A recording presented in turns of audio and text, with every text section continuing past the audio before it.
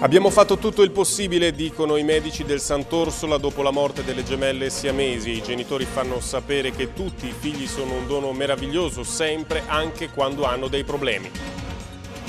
Si era rifatta una vita e una famiglia in Spagna, ma dopo due anni di latitanza dorata di Maurizio Ragno è stato interrotta dai carabinieri che lo hanno arrestato. Il 56enne deve scontare quasi 10 anni di carcere ed è sospettato di contatti con un boss dell'Andrangheta. Per fare cassa e compensare i tagli imposti della manovra economica, il Comune di Bologna pensa alla vendita degli immobili pubblici, in primis gli alloggi Acer che gli attuali inquilini sono disposti a comprare. L'ex ribelle berlusconiano Lorenzo Tomassini critica duramente la collega Valentina Castaldini che ha partecipato a Sorrento ad un'iniziativa di comunione e liberazione facendosi pagare la trasferta dal comune. È bene fare chiarezza, dice Tomassini. Presentata la pedonalizzazione della T Ugo Bassi Rizzoli Indipendenza di sabato 17 e domenica 18 settembre, mobilitati i commercianti che si stanno organizzando per trasformare il centro storico di Bologna in un salotto piacevole e suggestivo.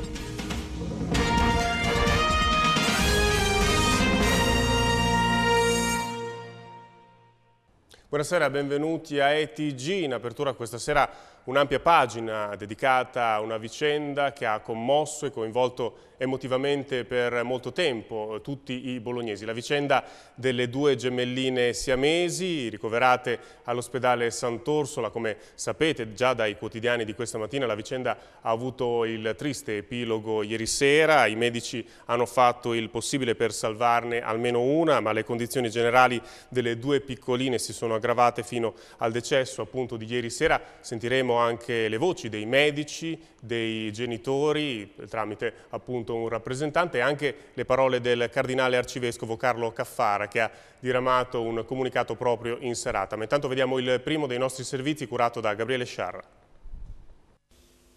A poco più di due mesi di vita sono morte nella tarda serata di ieri le due gemelline siamesi ricoverate al Sant'Orsola di Bologna fin dallo scorso giugno.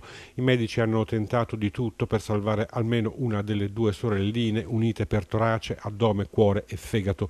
Un quadro disperato fin da subito, ma la speranza dei medici era quella di farle crescere di peso il più possibile per tentare in seguito un intervento di separazione, una strada suggerita anche dal Comitato di Bioetica dell'Università Università di Bologna, condivisa dal Comitato Etico Indipendente e dai sanitari, un orientamento cui ha dato il sostegno anche il cardinale Caffarra per il quale ogni sforzo per salvare almeno una delle due gemelline andava considerato come un atto di amore a favore della vita, ma né Lucia né Rebecca ce l'hanno fatta, le loro condizioni tra alti e bassi si erano progressivamente aggravate fin dallo scorso metà agosto, problemi sempre contrastati dai medici il cui scopo, come detto, era quello di di farle crescere il più possibile fino al recentissimo peggioramento generale con modesta risposta ai farmaci.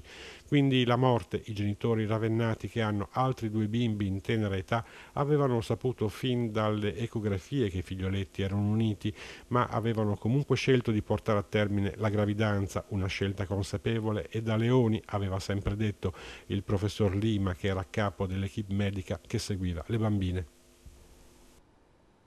E dunque, come dicevamo, i medici hanno dichiarato di aver fatto tutto il possibile. Sentiamo allora l'intervista realizzata da Giuseppe Pilloni al professor Mario Lima dell'unità operativa di chirurgia pediatrica del Sant'Orsola.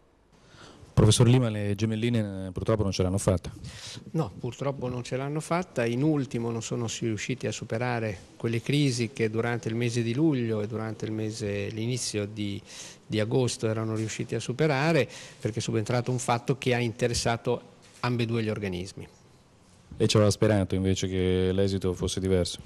Ma sa, con il mestiere che faccio, aver lavorare con dei bambini, lavorando, facendo delle tecniche chirurgiche particolarmente avanzate, credo che sia giusto sperarci e anche nell'ambito di quelle che erano le potenzialità e le possibilità. Eh, addirittura avevamo anche accarezzato per un attimo l'idea che se le gemelline fossero cresciute, fossero andate avanti, si poteva anche eh, riuscire nell'impresa di salvarle entrambe. Comunque è stato fatto tutto il possibile?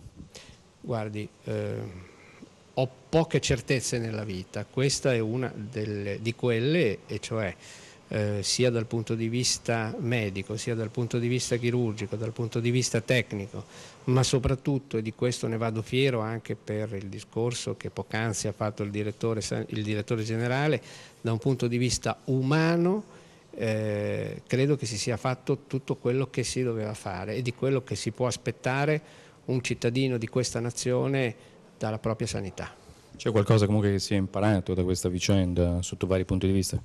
Ma sa, un'esperienza clinica eh, chirurgica lascia sempre delle tracce e sicuramente io credo che noi abbiamo acquisito degli elementi che permetteranno ad altri colleghi o a noi stessi di poter superare altre situazioni come questa hanno chiuso il breve spazio della loro vita terrena le gemelline siamesi Lucia e Rebecca. Sono le parole del cardinale Carlo Caffarra che in serata appunto ha diffuso una nota in merito. Ora la nostra preghiera, dice Caffarra, le consegna al Signore, mentre la riflessione si dischiude sul mistero della sofferenza e della morte dei bambini innocenti, un mistero di fronte al quale la fede, venuta meno ogni umana e impetrata speranza, si affida a una speranza più certa e più vera che non tradisce mai chi in lei confida. L'arcivescovo e la Chiesa di Bologna sono vicini nella partecipazione con la preghiera ai genitori di Lucia e Rebecca che hanno saputo affermare con testimonianza vivente per tutti esemplare che c'è una incommensurabile differenza di valore tra la soppressione di una vita per quanto essa possa essere problematica e tormentata e l'accompagnare quella stessa vita così come essa è fino là dove è umanamente possibile. Queste le parole del cardinale Carlo Carlo Caffarra, Carlo Caffarra che eh, domani celebrerà i funerali, eh, i funerali eh, al, eh, presso la Camera Mortuaria dell'ospedale Sant'Orsola eh, di Bologna alle ore 12. Venerdì ci sarà poi la partenza per Russi nel Ravennate dove vive la famiglia. I genitori tramite Enrico Masini, che è esponente dell'Associazione Giovanni XXIII, cui la coppia è molto vicina, fanno sapere tutti i figli sono un dono meraviglioso, sempre, anche quando hanno dei problemi. Sentiamo allora l'intervista a Masini. Enrico Masini, lei è amico dei genitori delle gemelline, nonché è stato un po' portavoce anche in questo periodo. Ecco, i genitori come hanno vissuto questo esito triste? Sì, è stato un momento doloroso per quanto fosse difficile la situazione in cui vivevano le loro bimbe e ne erano consapevoli fin eh, dalla, da, da gravidanza inoltrata. E in questo momento di dolore tuttavia vivono un momento di serenità interiore per aver potuto dare alle loro figlie tutto quanto era possibile dare di affetto, di amore, di cure a partire dall'accoglierli durante la gravidanza, dallo scegliere la struttura migliore dove farli nascere e poterli accompagnare davvero con amore e affetto giorno per giorno in questo tempo che è, è stato dato loro di poter condividere con le loro figlie. E quindi in, il primo ringraziamento proprio che loro mi hanno chiesto di esprimere è nei confronti delle loro bimbe e quindi un eh, davvero ringraziamento per aver potuto eh, fare questo pezzo di strada insieme. Poi ringraziano eh, tutta la struttura sanitaria del Sant'Orsola per essere accompagnati non solo dal punto di vista eh, sanitario con grande professionalità ma anche con grande vicinanza e sono proprio le loro parole, si sono sentiti in famiglia e loro ma anche eh, gli altri due fratellini un pochino più grandi eh, che hanno potuto vedere le bimbe, sostare così serenamente anche all'interno dell'ospedale. E quindi eh, così loro ci tengono anche a lasciare un messaggio rivolto a tutte le persone che in questo momento si sono avvicinate a loro e, e hanno così manifestato una vicinanza, una solidarietà e si sono uniti alla loro speranza di vita che è quello eh, che eh, ogni eh, figlio è un dono e vale la pena di essere accolto ed è una gioia anche quando eh, ha eh, problemi di salute e questo soprattutto a quei genitori che hanno eh, una diagnosi problematica in corso e quindi incoraggiandoli ad accogliere i loro figli. Adesso voltiamo pagina, è finita la lunga fuga di un latitante di 56 anni, Maurizio Ragno, evaso due anni fa dagli arresti domiciliari che stava scontando a Bologna, ma destinatario di una condanna a quasi 10 anni di carcere per droga e rapine. L'uomo è stato catturato in Spagna dai carabinieri che non escludono coinvolgimenti dell'uomo con la criminalità organizzata. Vediamo. Si era rifatto una vita in Spagna, ma dopo due anni di latitanza, la fuga di Maurizio Ragno, 56enne di origine pugliese, da 30 anni gravitante su Bologna, è stata interrotta dai carabinieri del Ros e dalla polizia iberica che lo hanno arrestato nella città di Almeria. A lui gli investigatori sono arrivati nell'ambito delle stesse indagini che hanno portato, nel novembre dell'anno scorso, alla cattura del boss dell'andrangheta Nicola Acri che fu bloccato proprio a Bologna. Ragno era evaso dagli arresti domiciliari che stava scontando nella sua abitazione in via De Nicola a Casteldebole nel luglio del 2009, ma a suo carico, oltre all'accusa di evasione, ci sono reati ben più gravi. Deve infatti scontare nove anni e mezzo di carcere, cumulo di una pena residua di quella che in origine era una condanna a ben 35 anni, poi ridotta per benefici di legge, per rapina, detenzione di armi e munizioni, traffico di stupefacenti, falsità materiale. Nel 2006 era stato arrestato con l'accusa di aver commesso, con alcuni complici, ben 19 rapine in banca fra il bolognese, il modenese e la Romagna per un bottino di 150.000 euro. Ma si è scoperto che anche in Spagna era finito nei guai durante la latitanza per possesso di documenti falsi e per maltrattamenti alla compagna. L'operazione è stata guidata dal ROS dei carabinieri che ora cercheranno di fare chiarezza sugli eventuali legami tra Ragno e il boss Nicola Acri. Diciamo che questa cattura si inquadra nelle indagini avviate dal 20 novembre 2010 all'indomani, insomma, o meglio, dalla concomitanza dell'arresto di Acri Nicola qui a Bologna e eh, gli sviluppi, quindi gli approfondimenti che abbiamo avviato da quella data in poi per ricostruire nel capoluogo di Bologna insomma, e anche nel resto della regione quella che era eh, la rete relazionale eh, che consentiva comunque ad Agricola di eh, coltivare degli interessi comunque presumibilmente anche di carattere criminale qui in regione. Due esibizionisti, protagonisti di diversi episodi avvenuti ieri a Bologna, sono stati denunciati dalla polizia. Il più bizzarro in Viale Europa, in zona fiera, dove un bolognese di 52 anni nascosto dietro una siepe esibiva un fallo finto alle automobiliste di passaggio. Una ha chiamato il 113, l'uomo è stato individuato e denunciato per atti contrari alla pubblica decenza, ha poi ammesso di aver fabbricato lui stesso l'oggetto che è stato sequestrato. Altra denuncia per un ferroviario ferrarese di 59 anni sorpreso a masturbarsi in pieno giorno in Galleria del Toro nel centro storico. Ancora cronaca, scene da Far West, ieri sera in via del lavoro, dove è scoppiata una furibonda rissa tra stranieri. Un giovane marocchino è stato colpito con ben 5 coltellate, ora è in gravi condizioni all'ospedale maggiore. Questa ed altre notizie di cronaca nel prossimo servizio curato da Federico Balletti.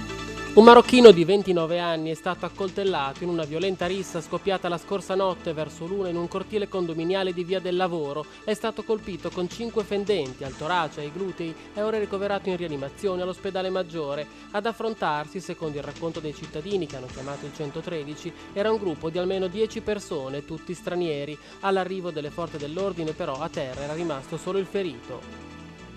Era stata una bolognese di 22 anni a rapinare qualche giorno fa la lavanderia L'Orsetto Lavatore di via Rivareno. Aveva minacciato con un coltello il titolare facendosi consegnare una settantina di euro. La polizia l'ha arrestata al termine delle indagini, appena avviate invece su un'altra rapina messa a segno ieri in una farmacia di Viale Felsina. Senza mostrare armi, un bandito ha costretto la farmacista a consegnargli 200 euro. Un aspirante suicida che voleva buttarsi da un cavalcavia sulla 14 poco dopo San Lazzaro è stato salvato dalla polizia che durante le operazioni ha anche interrotto per alcuni minuti il traffico sulla carreggiata sud.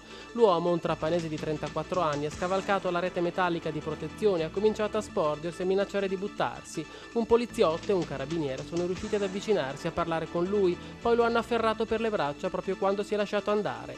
Il siciliano, che non ha voluto spiegare i motivi del gesto, è stato ricoverato all'ospedale Sant'Orso Orsola.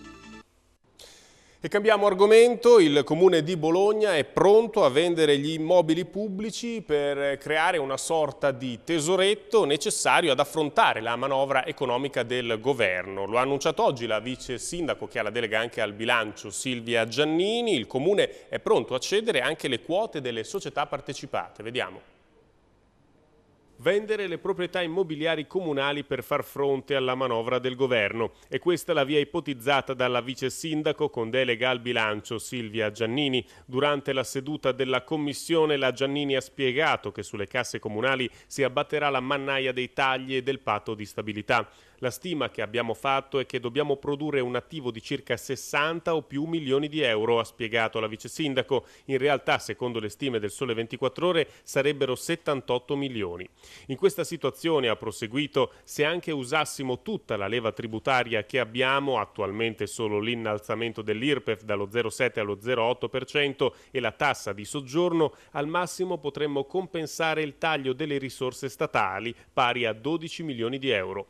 E allora ecco la soluzione prospettata dall'amministrazione, vendere gli immobili di proprietà comunale. È preferibile vendere le case acera agli inquilini se le vogliono acquistare piuttosto che chiudere le scuole d'infanzia, è il ragionamento della vice sindaco. Allo stesso modo saremo costretti a vendere, ma forse anche a svendere le società partecipate, ha ipotizzato, ricordando che era adesso vale un terzo. Per la verità va anche ricordato che a Bologna c'è chi da anni suggeriva di vendere quote della multi-utility, voci inascoltate e ora si rischia di chiudere il recinto dopo che sono scappati i buoi.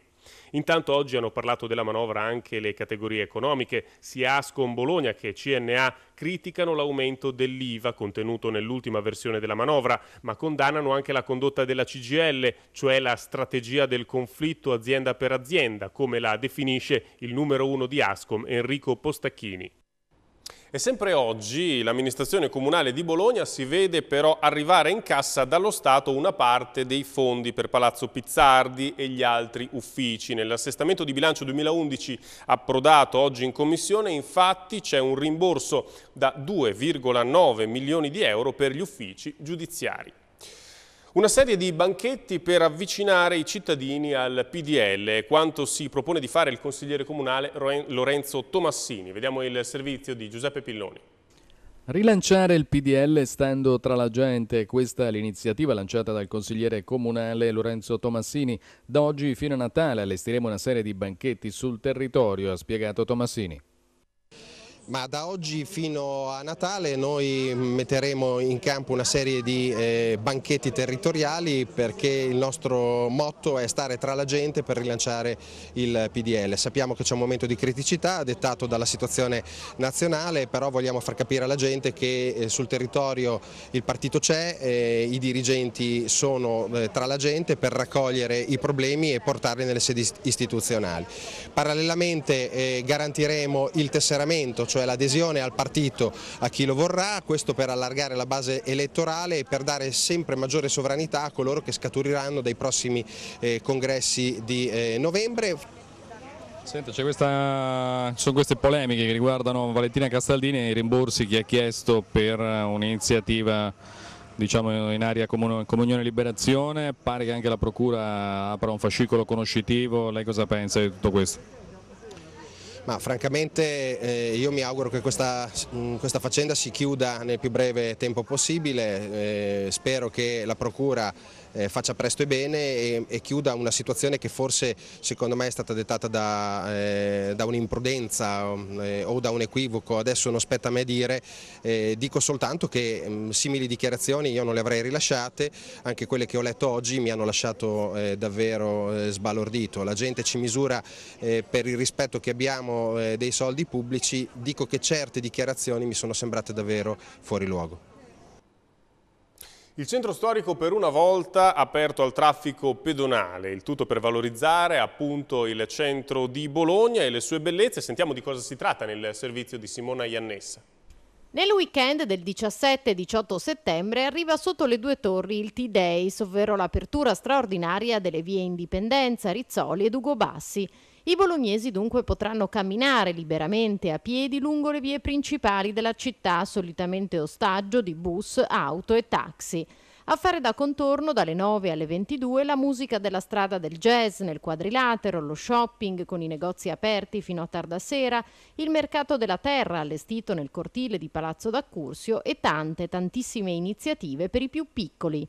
I T-Days sono per noi il biglietto da visita verso l'Europa con cui Bologna si presenta per la nuova stagione della svolta ecologica, quindi sono innanzitutto una pedonalizzazione della T molto attesa in città, ma per noi rappresentano anche qualcosa di più, un'apertura straordinaria di un distretto fatto di commercio, di cultura, di tempo libero, di socialità, un eh, bentornato ai cittadini dopo l'estate. Prospettive per il futuro?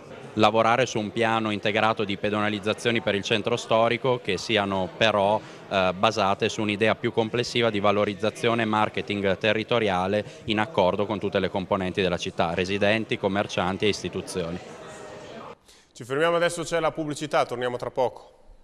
Di nuovo in studio con ETG, prima di proseguire come sempre rivediamo il sommario del nostro telegiornale. Abbiamo fatto tutto il possibile, dicono i medici del Sant'Orsola dopo la morte delle gemelle siamesi e i genitori fanno sapere che tutti i figli sono un dono meraviglioso sempre, anche quando hanno dei problemi.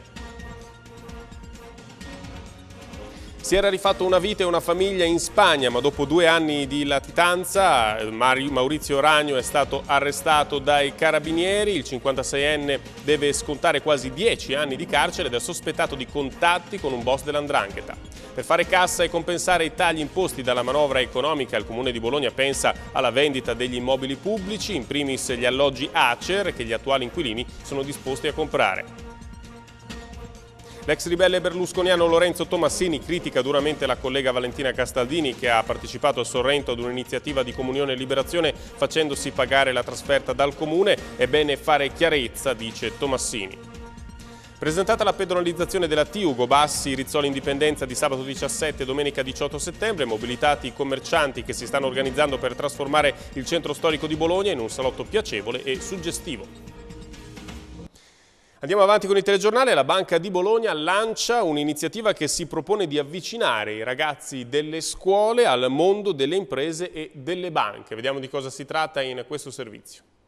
Raccontare e fare conoscere le imprese ai ragazzi. Questo è l'obiettivo dell'iniziativa della Banca di Bologna che coinvolgerà fino ad un massimo di 100 classi delle scuole medie di Bologna provincia. Si partirà con un progetto legato alla conoscenza dell'impresa banca ed è un'iniziativa che dire, prosegue il filone che abbiamo iniziato quando abbiamo fatto eh, l'operazione sulle porte di Bologna, eh, al termine della quale abbiamo coinvolto eh, per far esprimere sulla città i ragazzi eh, circa 11.000 bambini.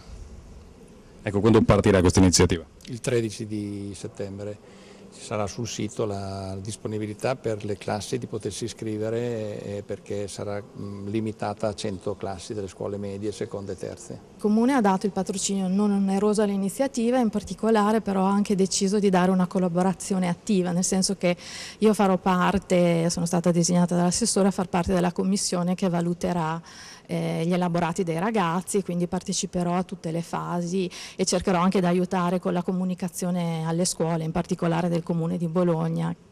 Quindi concretamente saranno delle lezioni durante la mattinata? Il, ehm, la banca sta pro, producendo un, un, elaborato, un video che verrà illustrato nelle scuole, più ci sarà del materiale che in autonomia i ragazzi e gli insegnanti potranno utilizzare e da questo verranno presi gli spunti per gli elaborati che poi la Commissione avrà modo di valutare. La cosa che mi sembra molto positiva è che non viene premiato il singolo ragazzo, ma la classe che partecipa con un buono viaggio per un viaggio di istruzione di tutta la classe, quindi anche a consolidare, non c'è un vincitore all'interno della classe, ma è la classe che porta a casa il risultato. Parliamo adesso di uno spettacolo benefico che si terrà venerdì sera all'Arena Parco Nord di Bologna sul palco, star della musica leggera ma anche del cabaret. Si esibiranno per raccogliere fondi per l'Unicef. L'evento si intitola CPL Life, Smile and Songs. Vediamo.